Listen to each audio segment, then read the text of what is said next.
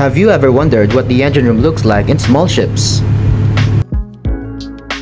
Here's a swift scan into what the engine room is, how small the machineries and equipment it comprises, and why those machineries were fitted. My name is Joshric Iver, I'm a marine engineer, and I am here to give you a tour in the engine room. The ship I am sailing is a CO2 gas carrier with a length overall of 82.5 meters and a gross tonnage of 2506. It's basically small. Expect that the engine room and its machineries are far smaller compared to the large ships you usually encounter. Our engine room is manned by two personnel, namely the chief engineer and the third engineer. In large ships, they have 6 to 10 engine crew. Welcome to the engine room. As we enter, we can already see the engine control space. It is an open space and not air conditioned. Unlike in those large ships, they have this air conditioned engine control room to protect the electrical and electronic devices from overheating. Here we don't have to worry about overheating since this ship trades only in the northern part of Europe, which is normally cold most of the time. This is the control panel. It contains the controls for the auxiliary engine and other machineries. We do our recordings and paperwork on this table, and on that other table right there is supposed to be having a computer, but I brought it to my cabin since I am the only one using it. This one is the workshop. It contains the hand tools, power tools and equipment, and spare parts. Guess what's this? A boiler. Yes, it's small.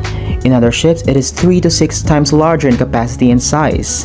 A boiler is used to convert water into steam for heating purposes. Let's go down, there's more in the lower platform the freshwater UV filter that purifies and the freshwater hydrofor pump that supplies water going to the accommodation. This is the main engine control panel. As the name suggests, it has the controls for main engine. The main engine, which is known as the heart of the ship, it supplies propulsion power or turns the ship propeller to move through the water. In large ships, it is 2 to 5 times bigger in size and power, and sometimes they have two sets of this. And there I am playing around for its size reference. this one's the oily water separator. It separates the oil from water coming from the bilges. The water is then discharged overboard. The purifier. It is used to purify the oil. This is for marine gas oil and it is 2 to 4 times larger in size and capacity. And they have 3 to 5 sets of this for different types of oil in larger ships. Here we only have one set and it is cute. Two sets of main air compressor. It is used to compress the air to a desired pressure and stored in the air reservoir. The compressor is then used, for example, in main engine starting. This one is a service air compressor. Same function, it compresses the air. I only turn this on when I need it, for example, for cleaning. Above is the general service pump for seawater supply and fire line. Below is the ballast pump for ballasting to correct the listing of the ship.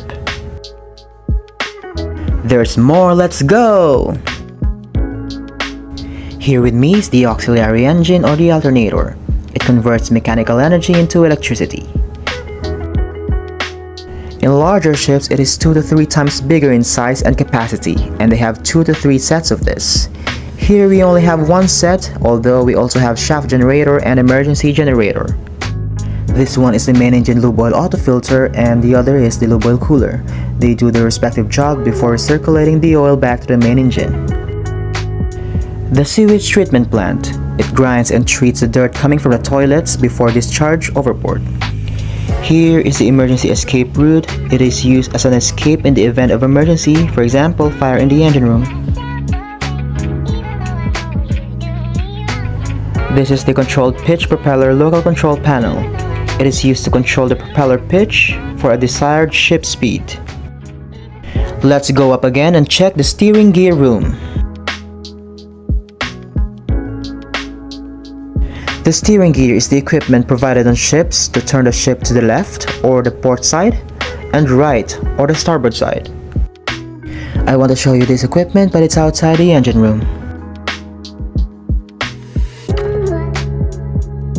The emergency generator. It supplies electricity to essential loads during the event of blackout.